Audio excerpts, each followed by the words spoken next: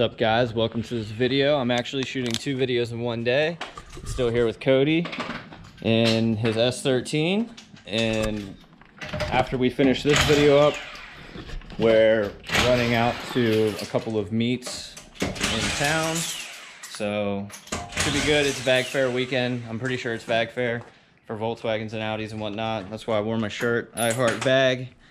Um, we're gonna go out there try to get some shots hopefully some decent rolling shots. I mean it's gonna be tough with this when the sun goes down because the quality on these gopros is kind of trash after dark but we're gonna do it anyways. See if there's any good parking lots with decent lighting get some more walk around shots but let's jump into it guys. All right folks we made it out here in new york and i guess Vag Fair's next month. I guess they moved it. But look at this freaking rav4 that thing is dumped. We can get up close to it